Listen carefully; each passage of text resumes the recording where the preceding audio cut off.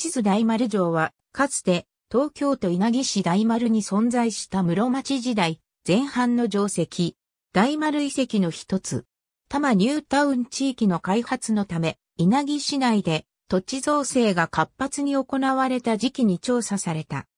1980年から1986年にかけて多摩丘陵の一部にあたる大丸地区の地元で城山と呼ばれていた小高い里山を造成して切り崩す過程で東京都埋蔵文化財センターによって発掘調査された。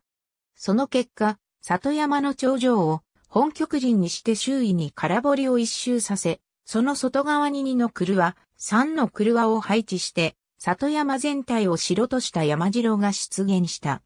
この中では12世紀から13世紀の京塚や母軍、板火軍なども見つかった。板火の年代から14世紀から15世紀に使われた山城だと分かった。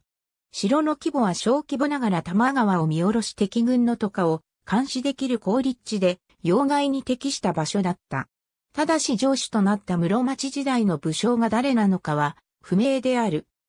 この山は山全体が大丸遺跡と呼ばれる複合遺跡なので、城石以外にも縄文時代の土工群や古墳時代の横穴墓、さらに奈良時代に武蔵国の国府や武蔵国分寺に吹かれた屋根瓦を製造した釜跡群も見つかったが、発掘調査後は山ごと切り崩されてしまったので、現在はほとんど残っていない。